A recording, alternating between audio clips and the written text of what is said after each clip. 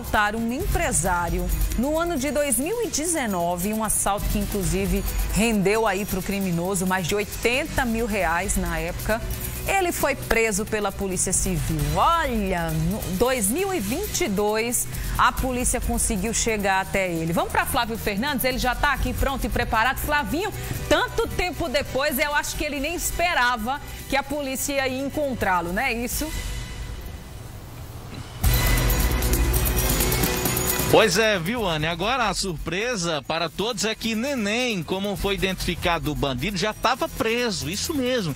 Neném já cumpria pena por outro crime. Mas aí um trabalho de investigação da Delegacia de Crimes contra o Patrimônio, a DCC PAT, identificou ele como sendo um dos cabeças deste roubo que aconteceu no ano de 2019 no bairro de Jaguaribe contra um empresário, onde, como disse você, rendeu para os bandidos 80 31 mil reais que estavam em um malote e seriam depositados em uma agência bancária. Acontece que na saída de um estacionamento, o empresário foi trancado por um veículo e de dentro saíram os criminosos com armas de alto poder, eh, de alta letalidade. Eles renderam o empresário, outras pessoas que estavam com ele, levaram o malote com mais de 80 mil reais em espécie e deixaram para trás, além do prejuízo financeiro, psicológico para este empresário. Três anos depois, depois da investida dos bandidos, a polícia entrou em campo e conseguiu identificar o neném, que já cumpria pena,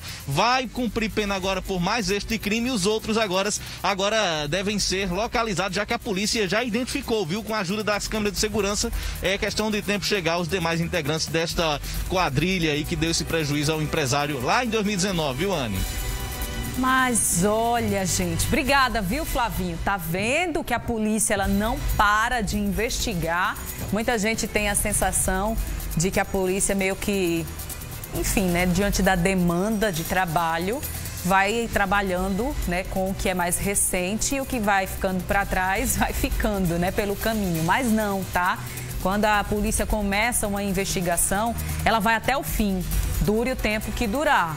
E aí, ó, esse tempo todinho depois a polícia conseguiu aí identificar que o tal do neném estava envolvido aí e agora vai responder também por esse crime e já está identificada aí, né, a outra parte aí do grupo. Então logo logo tenho certeza que a polícia também vai prender todo mundo. Parabéns para nossa competente Polícia Civil. Gente, 7h28, eu quero a atenção de vocês que ontem a gente terminou